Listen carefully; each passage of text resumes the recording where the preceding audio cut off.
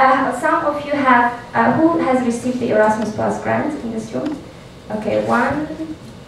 Okay, as you see, actually, uh, uh, yeah, the Iceland, Iceland, yes. So, uh, well, actually we have been facing this challenge because uh, before Erasmus Plus there were uh, individual grants, Comenius Grundtvig grants, where teachers could individually apply, which was easier because then they could uh, fill out the application themselves and they could choose the, the training they want to attend. But now it goes through the schools, which means that the teacher should promote the course or the area that wants to be trained, and then the school has the say if they want to uh, submit an application or not. So I've already heard from uh, for example, uh, I think it was Luis, or uh, yes, that the school uh, was not interested, for example, in history, because he was the only one who um, who wanted to, to, to attend our conference. So that, that is, uh, that's a challenge. So that's why um, we want to actually um, activate our members to be more active in including our courses in, in the field areas. Uh, so another uh, part of this key action one is that, uh, for example, staff members of the associations can also get training, can apply, and can get trainings in the areas they want. For example, we as Euroclio also received uh, grants to, to attend the trainings, uh, to develop ourselves, our capacities on the project acquisition, on lobby of different areas, and also go and attend, uh, go and train our members. For example, the open session we had here was also supported by Erasmus Plus program within this action. Uh, and there's also key action two, uh, which is uh, actually uh, very relevant for the uh, strategic partnerships. Actually, a part of it is also big project, to say it. Uh, so this requires a lot of, like, there is like, I don't know, 45 page project application that I think Rita mentioned that she, she's here, Rita? I suppose you said that you, you applied recently for Key Action 2 project, which, and Edgar is a partner. So it means there is there is a possibility to to and also we as Euroclio um, we are we are also attending this uh, this part of the program and we are open for partnerships. So whenever you need a support, we are ready to help. And Action 3, I'm not going to talk too much about it because it's more about policy um, making and um, so we can it's not very relevant.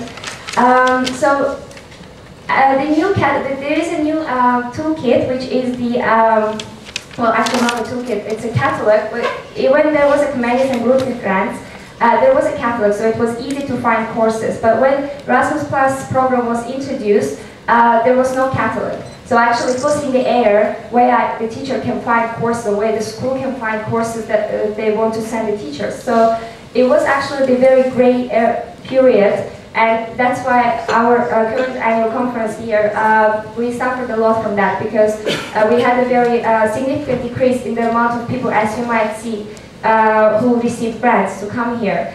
Uh, but luckily, um, with the support of the European Commission, now there is a new um, catalog introduced. It is still under development, so it's not, not all the tools of this catalog are complete, but you can already, um, we for example registered our upcoming annual conference in the catalog. Um, I don't know if we can, should I go to the to the link to just briefly show where they can, but well, it is, there's a link and you will receive also, um, if you're interested to receive this presentation that Judith and me had during the uh, session for members, we'll be happy to share it with you. Uh, and uh, so here you can go to the tools section and there you can see all the courses you are interested in. So it's good that you can show to your school also this uh, catalog, uh, and not only for yourself, also for your teachers in other fields that uh, you, you have subjects. And um, also here you can find partners for your projects.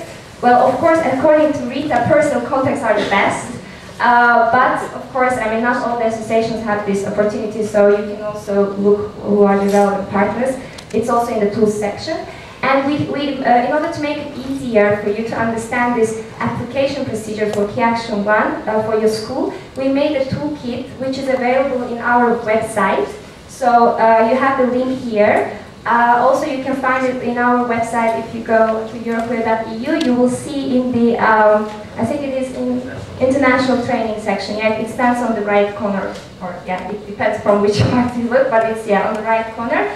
Um, and then there you can see actually which areas you can uh, point out in the application, which priorities um, that can make your application be successful and you can come to attend our annual conferences. So I think I'll stop here. If you have any questions, I'm here. You have my email address. We will be always happy to exchange more. Thanks a lot. And you, Thank you.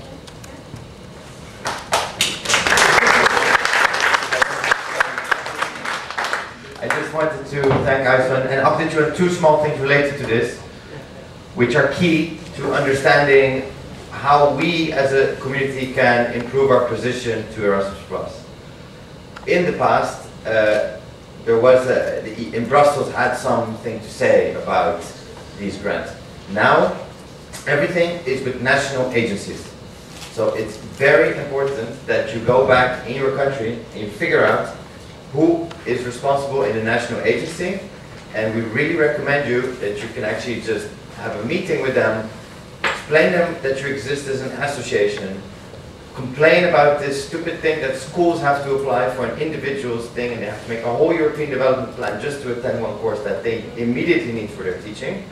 So I'm just emphasizing, contact your national agency and don't be afraid to be vocal about this. EU rules are not set in stone, even though they're set in clay or something. It takes some years to change it. Yeah. We were not, there, there was another side of the story that was trying to get something opposite, which is a centralized course catalog. Quality controlled organizations like Euroclio could highlight their course and teachers all over Europe could say that's a good course and they can evaluate and go there. We're now in the middle somehow. I think there is a movement towards that. Otherwise they wouldn't have made a new course catalog after already dismissing that schools don't need a catalog. So the other thing I wanted to add there is that Aysel, representing Euroclio, has been able already twice, once, but there's coming another session, to speak as the only NGO, civil society course provider at a session of the national agencies. So we're working our way in. And maybe next year we have a bit of another story. But for now, these things are here. Just one final thing. Um, I've already heard that also when I attended this session for the national agencies and NGOs as well, that sometimes national agencies require very weird uh, things, like that is not actually in the list of required things. If you come up with anything that you think that is not in the in the in this required list applications, just also let us know because we we will also try to contact the national agency and clarify why they require this additional uh, documentation or information. So just let us know. Thank you. I think we can then move to the final and quite important part. I give the, Okay. We have the sheets, we have the markers and all that. So just I saw you scheduling something. So yes, just just the time the time schedule. Uh, okay, so finally it's time for uh, for discussion and uh, getting your input on the, the presentation that Jonathan uh, Stephen held about membership fees. Um, what we will do for the coming about half an hour is we'll make, I think, three groups. You can make them yourselves, so find some people you can talk with and want to discuss with. And all three groups will um, discuss these four questions. What are characteristics of good membership fee system? Uh, which existing new benefits, if any, should be reserved for members only? What difference should there be between individuals and associations? And finally, how can members contribute to Euroclio besides instead of paying membership fees?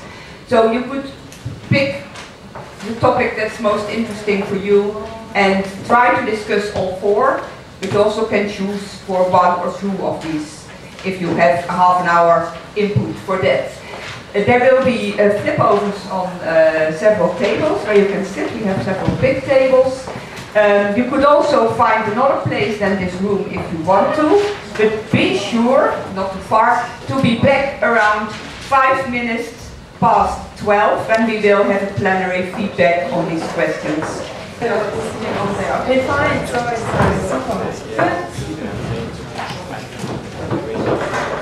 Now, now that I'm about to, I can show my true colors, you know. Good. Okay, let's devote the last 15 minutes or so to the feedback. Shall we? Official from the groups. So, which means, as like, as I'm talking 40 minutes left, maybe we could do it in a very uh, restrained fashion, say like three minutes or so per group, so that we can take the feedback from your posters and I see that. Thank you, Paolo. Take it back to the secretary and the board meeting so that can be worked on with. So, may I ask the representatives of each group to give the feedback? Sammy, you're standing up already. Does that mean you want to start? That would be nice. Let's just hand over the microphone. Okay, let's come here. Actually, in our group, we basically discussed three points. One is all our, all of our group members believe that uh, members should pay, pay money uh, to Europe even in a small amount because it shows the evidence of commitment of members to Euroclio and also even with small amounts of money it gives associations also to Euroclio to freedom to spend some money on uh, something not uh, written in the, let's say, projects or something like that. So it is necessary to, to have a membership fee. Uh, but we discussed that some, some associated members are more active than full members. So maybe we should discuss the, whether we need to have a, a sharp distinction between associated members and full members. For instance, associated members, associated members cannot vote for the General Assembly, even they are very active. So maybe for coming uh, meetings, we should, uh, Euro, as a European, we should discuss that associated members also can have more rights, or, or maybe even they can vote during the uh, assembly. So we should reconsider.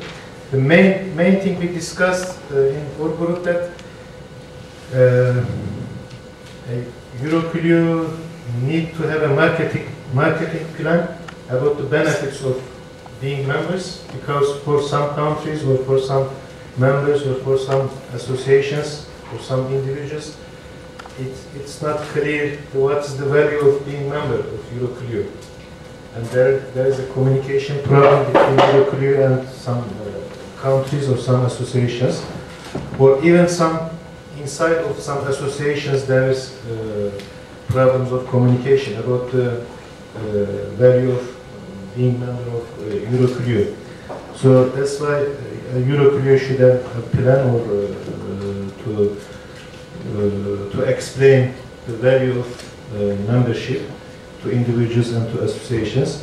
And after this, uh, we believe that uh, most uh, associations will be more willing to pay their membership fees. So it was the, it was the general, I think it was the general things we discussed in the group. Something else, I forget. Is it, I, I covered everything? Yeah? Okay. Thank you for the contribution of, of, of Thank you. So, we raised four or five points. First one is that uh, could be necessary uh, to reward uh, active membership, uh, and uh, we don't know exactly how, but uh, could be possible to, for example, connect the exemption of, of, of the fee payment to an active membership association in, in, in, in a country with financial bad, uh, bad situation. Uh, the second point is that we think that there is room and opportunity for individuals to join without any particular benefit because uh, also the association are here because, because we share uh, some values and some, some aims and some goals. We are not here exactly to, to, to gain something uh, material. Uh, the third point is that financial contributions uh, have to be linked to, to capacities. Uh, fourth point is that could be possible, perhaps uh, uh, it, it should be that uh, voting procedures are also uh, will be also online. And uh, the, the last point is that voting should be linked to the paid membership. Mm, mm, and nowadays, unless we will be able to, to, to find out our objective uh, criteria. That's not the case now. Uh, I'm, I'm. We actually, well, we actually asked Edgar to do the reporting. He was very active. Or you were, yes. Yeah, we also made few uh, comments and uh, actually we went through only the first question because we did not have enough time. But uh, basically uh, there are also four moments what to highlight. Uh, first, uh, first of all, it would be review the list of criteria, and uh, uh, this would be our first recommendation. We didn't came up with a concrete solution, but in the same time, we know that it would be good to review and probably uh, think of uh, uh, adding other cri- criteria. From my side, uh, it was option that in an account we could take activity and as well in our group we had that it would be as well teacher's salary. Yeah, so the, those two moments. Uh, another one big discussion we had on uh, question pay or not to pay. So this, this big, big